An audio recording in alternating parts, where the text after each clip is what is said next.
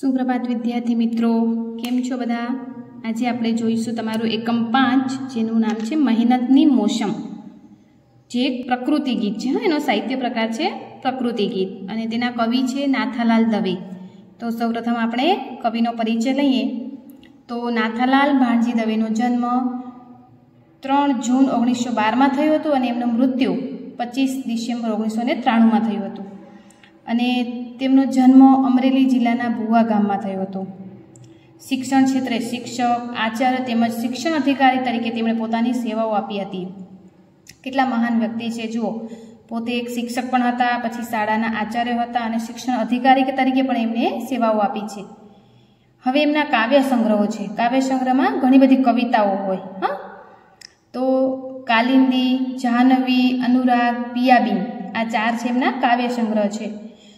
પછી નર્મ, મર્મ અને કટાક્ષ જનિત હાસ્યથી ગુજરાતી કવિતાને તેમણે સમૃદ્ધ કરી છે. આવા કટાક્ષ કરે, હં. આપણે હસતા હસતા કોઈને કહી દઈએ ને એવી રીતે. રમ્ય શબ્દચિત્રો, ભાવનું માધુર્ય, છંદો ગેર ઢાળો પરનું માધુર્ય એમની કવિતાનો વિશેષ છે. એમની કવિતાની અંદર આપણને શું જોવા મળે છે? તો સરસ મજાનું મધુરતા છે. પછી જે છંદ આવે, લય બધા આપણે ગાઈ શકીએ એવા. હા? ખૂબ જ સરસ કવિતા છે. તો આપણે ટૂંકમાં કે આ કવિતામાં શાના વિશે છે. તો કવિએ પાક પાક લણવાની ઋતુને મહેનતની મોસમ કહી છે. આપણે પાક લણીએ ને? વરસાદ પછી કુદરત સોળે કળાએ ખીલી ઉઠે છે.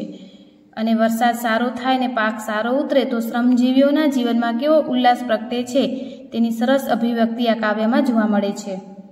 જ્યારે ચોમાસું હોય ત્યારે આપણે પાકની લણણી કરીએ ને લણીએ ને? અને જે કુદરત જે આજુબાજુ આપણી પ્રકૃતિ છે એ સોળે કળાએ કડાઈ ખીલી હોય. નદીમાંથી પાણી ઝરણા વહેતા હોય, પછી ચારે બાજુ હરિયાળી હોય લીલુંછમ હોય હોય ને? અને વરસાદ હોય, એટલે પાક પણ સારો થાય. એટલે જે ખેડૂત છે, શ્રમજીવી લોકો છે, એના જીવનમાં ખૂબ જ આનંદ ઉલ્લાસ હોય છે. તો અહીં જે વ્યક્તિનો આનંદ ઉલ્લાસ છે, એની આ અભિવ્યક્તિનું એ કાવ્યમાં વર્ણન કર્યું છે. તો સૌપ્રથમ પહેલાં આપણે આ કવિતાને સારી રીતે ગાઈએ. ત્યારબાદ આપણે કવિતાને સમજીશું.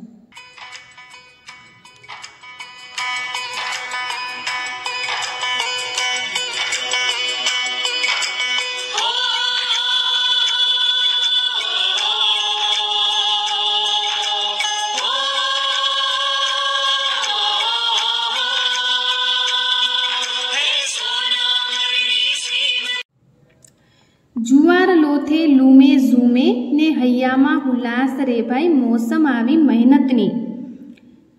લોથે લોથે એટલે જે જુવારનું કણસલું હોય ને, એને લોથે કહેવાય. અને જુવાર એક પાક છે, હા? લૂમે ઝૂમે એટલે એકદમ લૂમખાબે લટકે, હા? એ.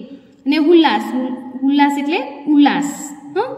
તો પંક્તિમાં કવિ શું કહે છે કે જુવાર ભરેલા કણસલા લૂમખાબેર ઝૂમી રહ્યા છે. જેમ દ્રાક્ષના લૂમખા હોય ને, એવી જ રીતે અહીંયા જુવાર ભરેલા કણસલા છે. એ લુમખાપેર ઝૂમી રહ્યા છે અને જે ખેડૂતના હૈયામાં હૃદયમાં એકદમ ઉલ્લાસ ભર્યો છે. ભાઈ, મહેનતની મોસમ આવી છે. ઉપર ઉજળા આભમાં કુંજળિયુંના કિલોલ રે ભાઈ, મોસમ આવી મહેનતની. કુંજળિયું, એક પ્રકારનું પક્ષીનું નામ છે, જેને આપણે કુંજળી પણ કહેતા હોય છે ને. અને કિલોલ કિલોલ એટલે આનંદ. આભ એટલે આકાશ, તો કવિ કહે છે કે ખેતર ઉપર એકદમ ઉજળું આકાશ છે અને એમાં કુંજળીઓ છે કિલ્લોલ કરે છે. ભાઈ, મહેનતની મોસમ આવી છે. પાક લણવાની ઋતુ આવી છે. વાતા મીઠા વાયરાને લેતા મોલ હિલોળ હિલોળ રે. ભાઈ, મોસમ આવી મહેનતની. મોલ મોલ એટલે પાક અને વાયરા વાયરા એટલે પવન અને હિલોળ હિલોળ એટલે ઝૂલવું, જે ઝોલે ચડે ને ડોલવું તે.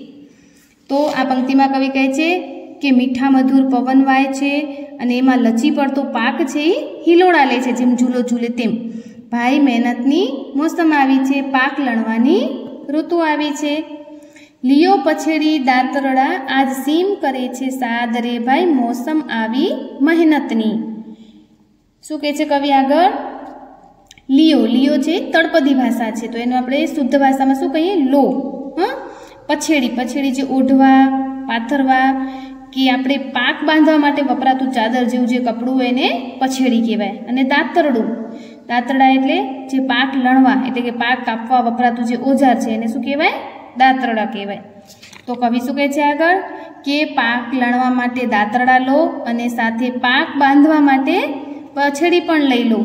અને ઊભા પાકની જે સીમ આજે આપણને બધાને બોલાવી રહી છે, જે પાક ઊભો છે સીમની અંદર, એ આપણને પાક છે બોલાવી રહ્યો છે. તો ભાઈ, મહેનતની મોસમ આવી ગઈ છે, લણવાની ઋતુ આવી છે. રંગે સંગે કામ કરીએ, થાય મલક આ બાદ રે ભાઈ, મોસમ આવી મહેનતની. રંગે સંગે, એટલે કે આનંદ કરતાં કરતાં, સાથમાં આપણે, હા